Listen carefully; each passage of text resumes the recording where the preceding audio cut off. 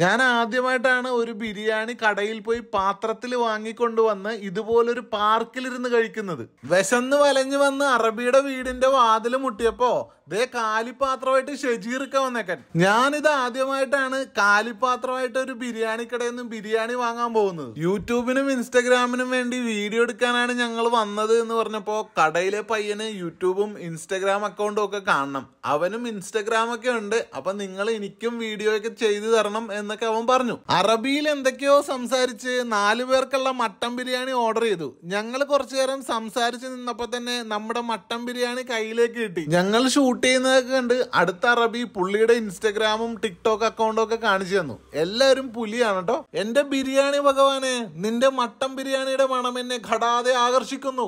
എന്റെ ഉള്ളിലെ വിശപ്പ് വാണം വിട്ട പോലെ പറന്നു പൊങ്ങി വീഡിയോയ്ക്ക് വേണ്ടി നമ്മുടെ അറബി പയ്യൻ നന്നായിട്ട് പോസ് ചെയ്ത് തന്നു. എന്നെയും വീഡിയോയിൽ ഉൾപ്പെടുത്തണമെന്ന് പ്രത്യേകം പറഞ്ഞു. മട്ടൻ ബിരിയാണിയുമായി ഞങ്ങൾ നടന്നു ചെന്നത് പച്ചപ്പരവതാനി വിരിച്ച ഒരു പബ്ലിക് പാർക്കിലേക്ക് വളരെ നീറ്റ് ആൻഡ് ക്ലീൻ ആയിട്ടുള്ള ഒരു പാർക്കാണത് ആർക്ക് വേണമെങ്കിലും എപ്പോ വേണമെങ്കിലും പോയി ഇരിക്കാം. എക്സസൈസ് ചെയ്യാനൊക്കെ ഒരുപാട് ആൾക്കാർ ഇവിടെ വരുന്നുണ്ട്.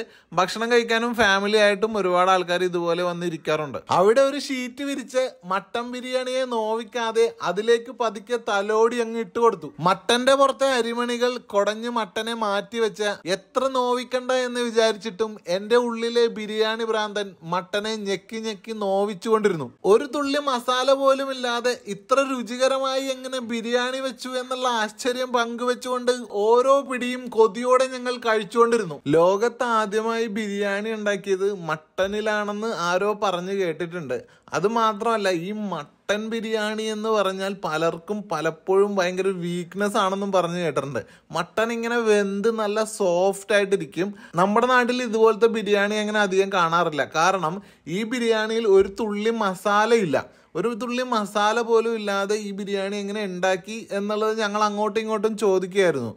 ചിലപ്പോൾ മട്ടൻ വേവിച്ച് മട്ടന്റെ വെള്ളത്തിലായിരിക്കും ബിരിയാണി റൈസ് പാചകം ചെയ്തിട്ടുണ്ടാവുക. അതുകൊണ്ടായിരിക്കും ബിരിയാണി റൈസിന് ഇത്രയും രുചി. മട്ടൻ വളരെ സോഫ്റ്റ് ആയിട്ട് വെന്തിട്ടിട്ടുണ്ട്. കുക്കറിലോ പാത്രത്തിലോ ഇട്ട് നല്ലതുപോലെ വേവിച്ചിട്ടായിരിക്കും മട്ടൻ എടുത്തിട്ടുണ്ടാവുക. മട്ടൻ എടുത്ത് മാറ്റി വെച്ച ശേഷം മട്ടന്റെ സ്റ്റോക്കിലായിരിക്കും ബിരിയാണി റൈസ് ദം ചെയ്തെടുത്തിട്ടുണ്ടാവുക. അതുകൊണ്ടാണ് ബിരിയാണി റൈസിന് ഇത്രയും രുചി എന്ന് നമുക്ക് തോന്നി. ഞാൻ ഈ മട്ടൻ ബിരിയാണിയെ പറ്റി ഇത്രയും പൊക്കി പറയുമ്പോൾ പലർക്കും സംശയം തോന്നാം നാട്ടിൽ ഇതിലും നല്ല ബിരിയാണി കിട്ടുമല്ലോ കിട്ടുമല്ലോ? നാട്ടിൽ കിട്ടും കിട്ടുന്നില്ല എന്നൊന്നും ഞാൻ പറയുന്നില്ല. പക്ഷേ ഇവിടുത്തെ ബിരിയാണിക്ക് അതിന്റെതായ പ്രത്യേകതയുണ്ട്.